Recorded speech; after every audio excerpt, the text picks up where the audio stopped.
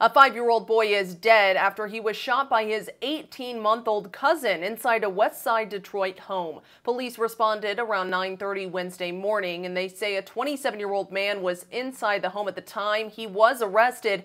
He's the father of the five-year-old and uncle of the toddler. The boy's grandmother and also a one-year-old girl were at home at the time. 10th Police Precinct Commander Tiffany Stewart says the shooting was completely avoidable. Katie Johnston for CBS Detroit.